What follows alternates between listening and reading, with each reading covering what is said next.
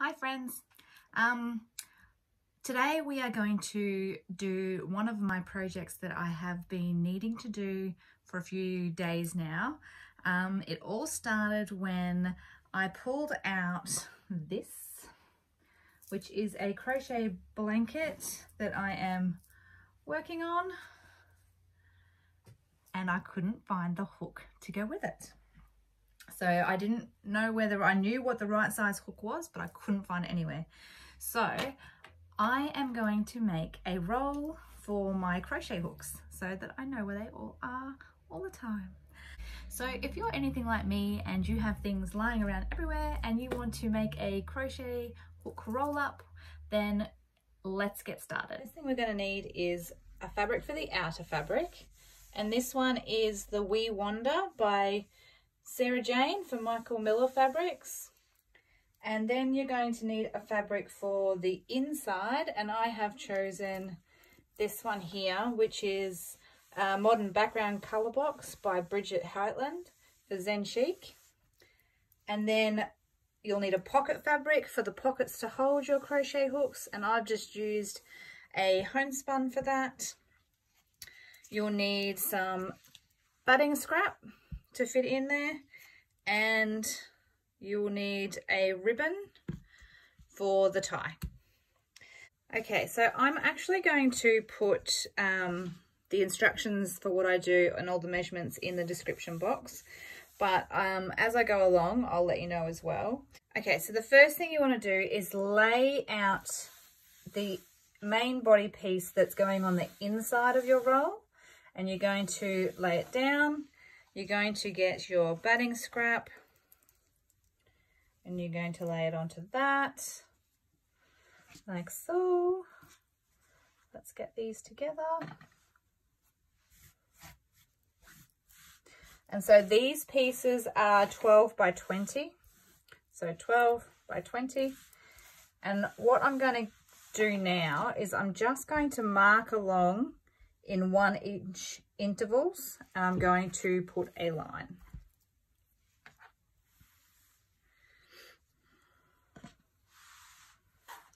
Need a bit more room. Okay, so one inch. I'm just doing this in pencil.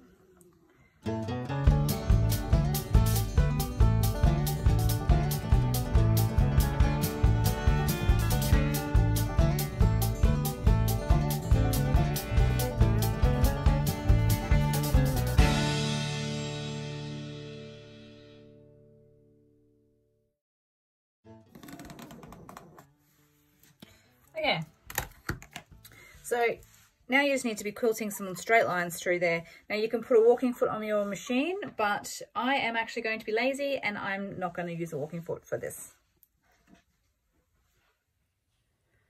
Okay, now that we've quilted the inside of our main piece, we want to square this up so it's the same size as the outside main piece. So we're going to square it up to be 11 and a half by 19 and a half.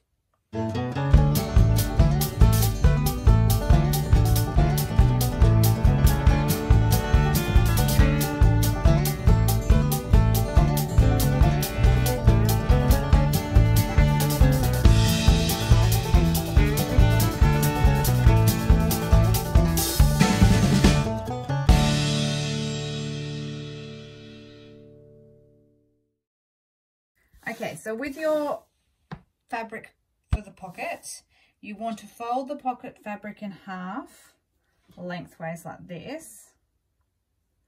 And you're going to just iron a crease here and then top stitch along the folded edge.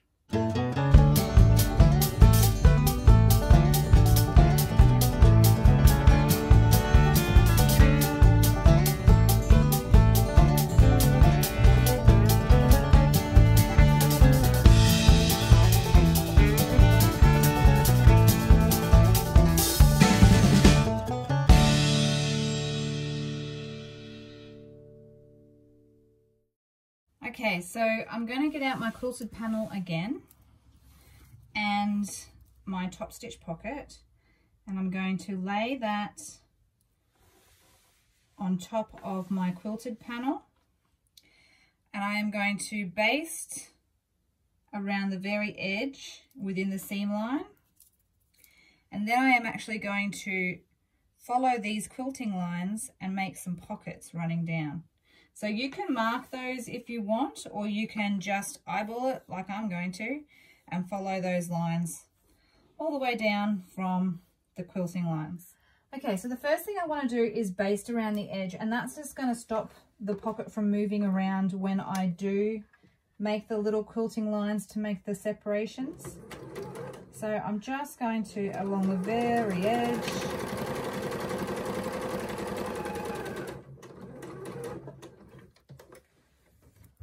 a basting stitch. So I've still got it on 2.8 at this stage.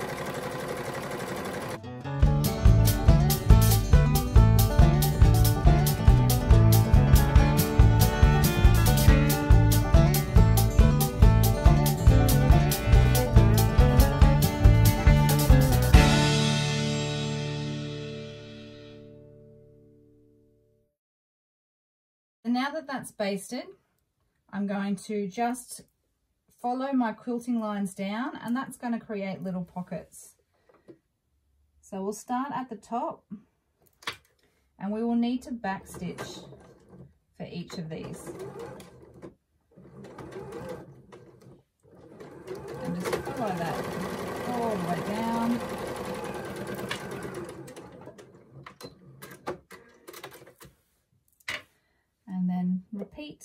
Repeat, repeat,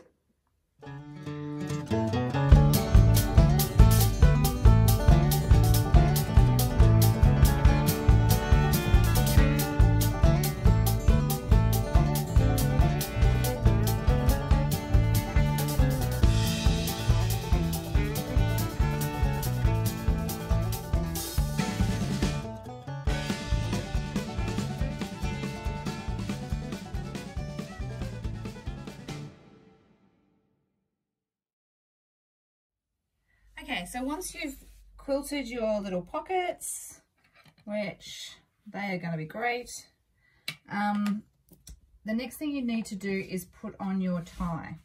So I have cut a length of ribbon and my ribbon is about 40 inches long. Um, what I'm going to do is pinch that in half and I'm actually going to see if you can see that. I'm actually going to sew over this end just here and then we're going to just make sure that we tuck this on the inside for the next step. So let me just go stitch this on and I'll be right back. Okay, so I've done a little back and forth stitch on my edge of my ribbon and I am just going to make sure that this ribbon is all on the inside here. The next thing I want to do is take my outside fabric, and we're going to lay that over top just like this of our panel. Then I'm going to get my trusty wonder clips. And we are going to clip that around because we're going to sew a quarter inch seam around the whole wrap except for we're going to leave about four inches of a turning gap. So we don't want to be sewing between our pins and I've left my turning gap at the bottom, but we do want to sew a quarter inch seam around the rest of the bag. Okay, so I'm going to start sewing at one of my pins for my opening.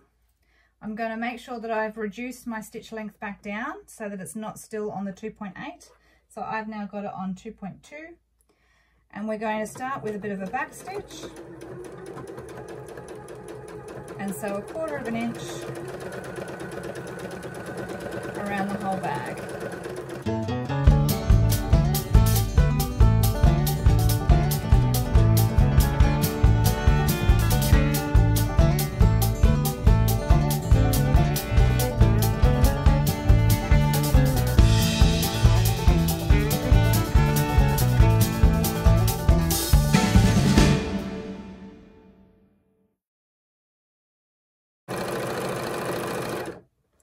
Once we get to the other pin, we can do our back stitch.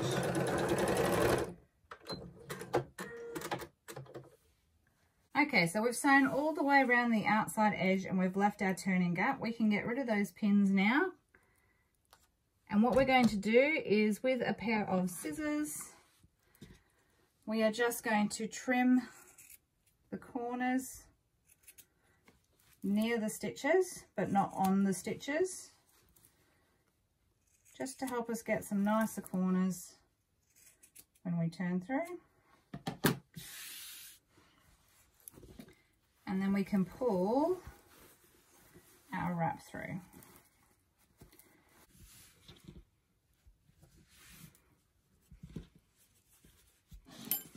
Okay, so the next step is going to be to top stitch. So to make that easier, it's a good idea to actually press your bag with an iron just into shape and it will help you to fold these corners in and press them as well. So we are going to now top stitch around the outside of our wrap, an eighth of an inch around the edge. Okay, so I'm back at the machine and I'm going to top stitch my edge here. So if I roll it out with my fingers, get it all lined up to how I want it, slide it under the presser foot, and we are going to just do a straight stitch all the way around that top edge.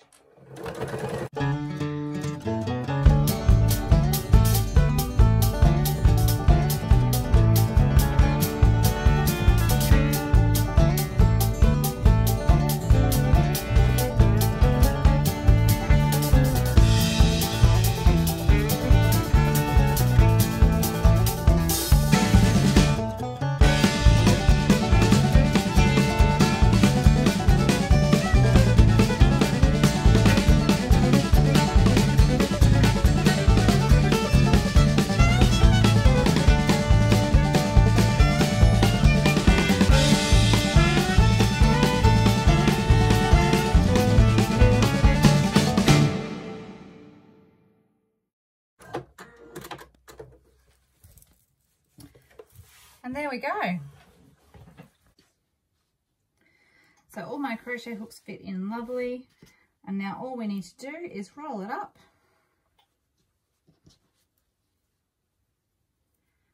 And we use our ribbons to tie it off.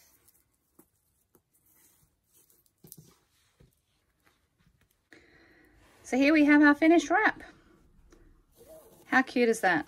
No more losing crochet hooks because they will all be in one safe place. So hopefully you give this a go at home. It was very easy to do. It took next to no time. Very beginner friendly and so super useful. So no more missing crochet hooks for me.